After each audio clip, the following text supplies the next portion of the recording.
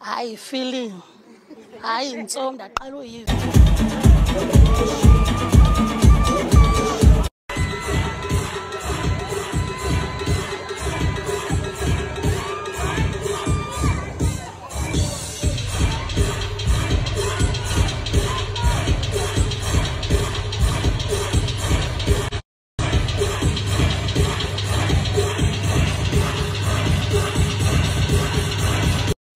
Hello, hi guys, and welcome to my YouTube channel. This is his Royal Teaness, and thank you so much for taking your time to join me. As you have seen in that video, that DJ Zinhle and Nadia Nakai were socializing, and you can see that they were actually very cool with each other. By the way, they were performing at Rockets in Bryanston yesterday. They have more reasons to converse, especially since DJ Zinhle during the day had spent time with AKA while they were celebrating Kairo's birthday. Well, these are the news for now.